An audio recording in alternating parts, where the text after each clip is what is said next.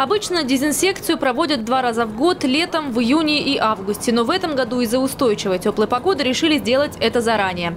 Так, сегодня специалисты отправились на улицу Макаренко и в рабочий переулок по приглашению управляющей компании. Используются химические препараты, губительные для комаров. Хотя специалисты говорят, в Сочи и на юге России нет никаких угроз вспышек вируса Зика. Если э, жители ощущали, что наличие блох, э, комаров и еще каких-то насекомых, но после обработки они исчезают однозначно. Профилактические обработки помещений только начались и продлятся они теперь до конца лета.